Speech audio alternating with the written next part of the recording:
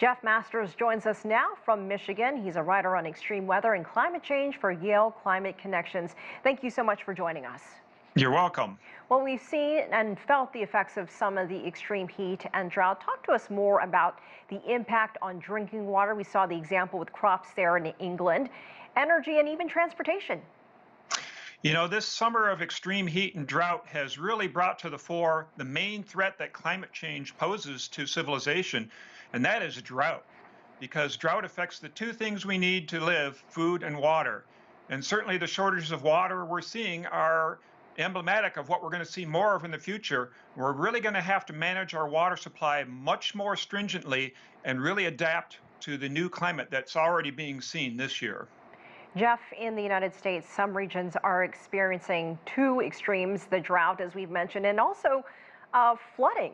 For example, the state of Texas, uh, the last week or so. Describe what is happening there. And um, as we mentioned in the UK, they've had some extreme heat, but now they're also seeing heavy thunderstorms in some areas. Talk to us about these type of swings that are happening in some of the same places.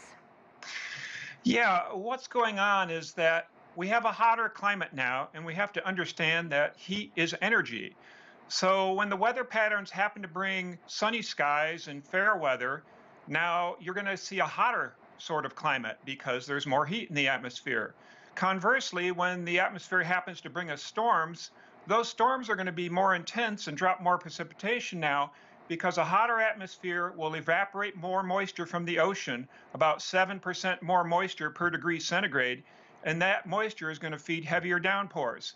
So when you get a shift in the climate pattern from suddenly from dry to wet, you're going to see a whiplash event where you are experiencing a drought for a few weeks or days, and then all of a sudden it's replaced by boom, you get one of these extreme weather events.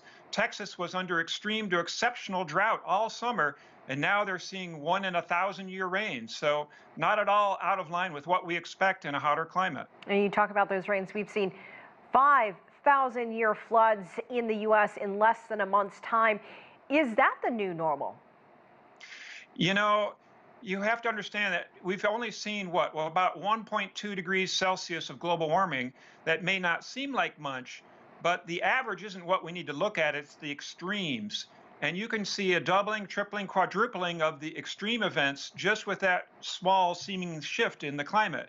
And that's what's going on now. We're going to continue to see a sharp increase in those extremes as we go forward, and that's a severe challenge to our adaptation.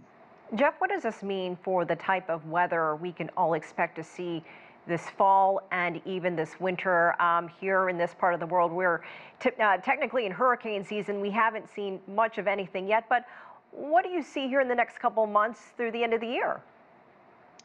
Yeah, in the Atlantic, the hurricane season has been very unusually quiet, particularly since we're in a uh, La Nina event where you typically see more hurricanes. And there's no indication yet that the Atlantic is going to wake up. We're experiencing very dry, stable air there. And you know, surprises are happening all the time in our climate. And it may well be that we'll end up with a quieter than average hurricane season.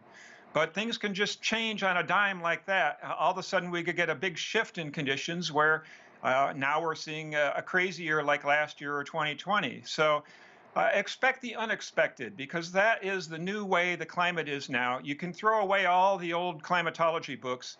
We're in an entirely new environment now where we're going to start seeing unprecedented things with great regularity. Jeff Masters, thank you so much for joining us from the U.S. state of Michigan. We appreciate your time. You're welcome.